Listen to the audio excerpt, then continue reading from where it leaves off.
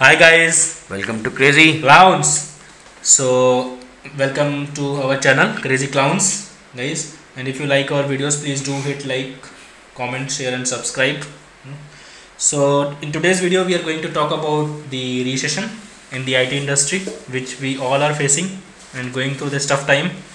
So today we have uh, clown here, who will be, you know, talking about little bit about like what is recession and and what we as an individual can do you know in this tough time. And and what all things we can do from our side to, to keep us productive you know to to mitigate some of the challenges which are occurring in day to day life as of now in IT industry. So let's start the video. Um, and I'll start the video by asking a question like what is recession first of all for our viewers? So recession is uh, we all know that any country's growth is lies you know uh, with the demand and supply uh, mechanism. So people poses demand and the companies, the factories, you know, all kind of businesses, they are they are supposed to supply. They are supposed to meet the demand. yeah So they are supposed to meet the demand. Now, it happens that over, over a period of time, this demand supply chain it gets it it slows down. So basically, if you have today a demand of for say uh, a refrigerator refrigerator, so when you have the demand, um, you'll buy it today. It will last for another 10 15 years at least. right So that recurring demand is not there. So you know, for sure there are the billions of people you know uh, in the world, and in country like India we have uh, close to one one uh, one 140 crore people. So slowly there will be a time you know when people will not be requiring the number of refrigerators the way people were needing like 10, 10, 10 years before right yeah so just, just an example of one appliance. Same for AC. So in today's time, not everyone can afford AC, but there will be a time when AC becomes affordable, and then everyone will have it. So then demand will not be there, or it will be there, it will be less. So this is just a very simple example. But overall, it happens that after a certain period of time, uh, and this happens again and again. It's not the one-time thing. So this is a Recession rec- recurring- ah, recurring. Recession is recurring. okay So after a certain point in time, the demand reduces and hence the supply, you know, supply is like it, it's, it's more. Uh, there are no buyers there. So what companies can do, who are producing the, the products, be it uh, uh, hardware, physical, or you know, software also in our IT industry. So then there are no people using it enough. So what they have is you know more than supply, uh, more, more than demand. So what they're gonna do? they just can't keep their resources engaged right so they have to free their resources they because they also have to sustain the cost right so what they do in that case you know people lose their job so there is no no demand for those companies for people saying that you come and you work with us you produce this you produce that there's no there not there. So people start to become unemployed. And then company starts looking into you know cost optimization and and, and that categorizing comes the of products course right? that that Yeah. that will for sure will come because Right. not every company look for laying off people right away. Right. What they see is let's reduce the cost. This cost is something like which can be taken care of normal time company don't do not think too much. They say that okay this is fine. If people are using the printers people are using coffee machines it's okay. Let them have their own time because we are going good time. Yeah. But when the session comes, companies think that okay, this is not necessary. So if I am having uh, ten coffees in a day, if I reduce it to five coffees, it's not gonna harm any in any way to me, right? It first of all, it's gonna be healthy thing for me, and it will save some money for the company because coffees are coffees from the vending machine especially they're free in all the companies. So, but it is cost for them, and we are having it unnecessary, right? Similarly, goes for printing machines, printouts, uh, the printers. The, the employees might be printing left and right the pages where they might not be needed. They can they can work it out with PDFs and all. But in normal time, they are taking the printouts. The company feel that no, no, this is waste of money, right? We can avoid this. So companies take those measures. Right so uh, but coming back to the, the initial question you know the recession so it's like demand supply chain it gets disrupted because of the less demand demand goes less and supply so and to meet the demand or to reduce the supply for the demand people have to get rid of the resources they are engaged be it people uh, the their employees, be it you know the the hardware they are using, Right. ha- the, the hardware they're using. So everything they have to um, uh, they have to reduce in numbers. That's when we say that it's it's a recession. So it's a it's an ec- economic uh, growth in negative terms. So economy growth goes start going negative. That's what we call uh, recession, especially that negative economic growth sustains for a good amount of time. Let's say uh, a few months to year. That becomes recession. Okay. So, so connecting to this, I mean, I have another question.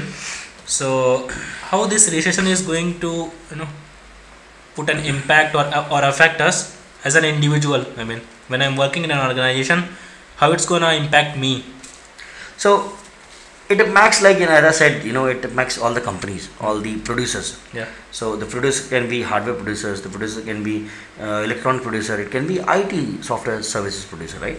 Uh, the way companies like you know all the service services based companies works in India, they are producers. What they produce services through employees. Right. So now in recession, I'll take an example.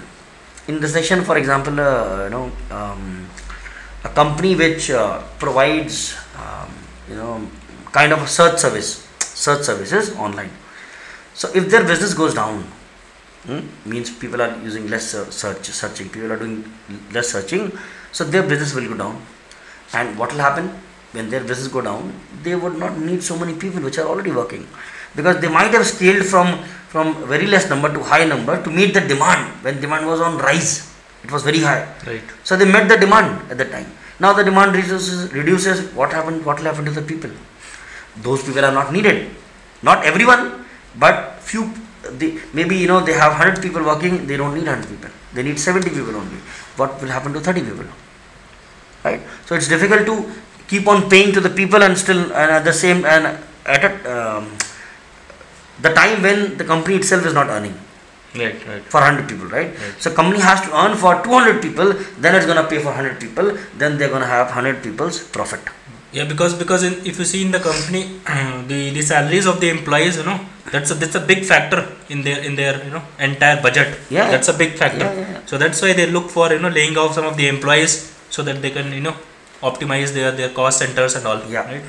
So now now we had talked about this problem, right, which is occurring. Now let's talk about the solution for this. I mean, right.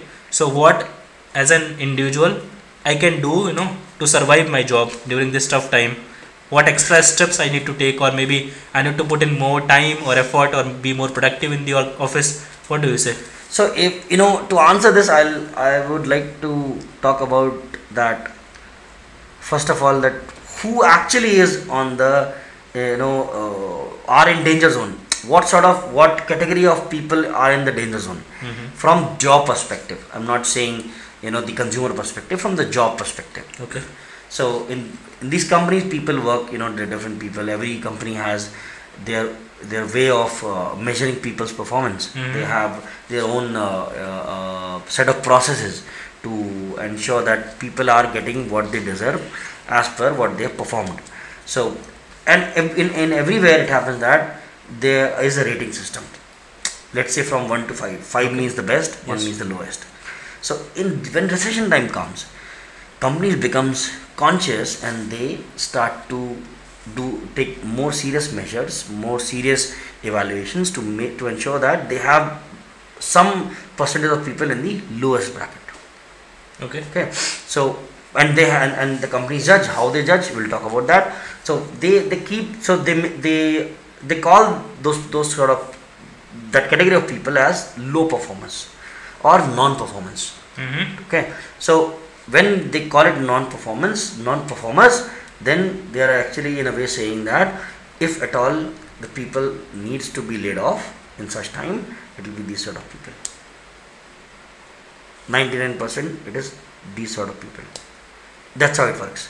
Now how company the, the, the, the question you asked uh, what we uh, should do in such time to ensure that Right. you know we uh, we are stable we Right. are not we are not having the fear of losing job Yeah. so i'll say that one line especially this what line i'm going to say it is relevant always not just decision time Mhm. every time that always keep yourself relevant in the company relevant in your space and how you can keep relevant uh, yourself relevant whatever technology you're working on whatever skill you have you keep on upgrading that skill keep on uh, uh, be on your toes every time so that you build that skill to depth Yeah. in deep you know Yeah. and also you should uh, think of making your skill or the technology spectrum big Hmm. means similar technology doing similar work but a, um, but a different vendor maybe a different company Mhm. for example you know if you are using uh, if you are if you are, if you know uh, cloud okay cloud computing you know Mhm. so you might be knowing azure so you if you go learn every azure service in deep that is deep learning so you also can look forward for learning gcp aws That is that is, horizontally. that is there yeah that is increasing your breadth Okay. width okay Yeah. so that is like horizontal scaling you're doing Yeah. so that is also important so make your keep yourself relevant uh, as per the current market and the latest skills if you have that and also when you're working you know in, in your working hours try to be more productive Yeah. B- which means that less amount of breaks These Uh, things are getting observed, right? Yes, I mean, uh, they are getting observed also, but Yeah. the, uh, on your side, you have to ensure that you're taking less breaks, you're, you're wasting your time less, Yeah. uh, you know, be punctual, spend little extra time on your learning and doing something extra for the company, for the customer. This is what companies see that in tough time, what is the value addition you're doing.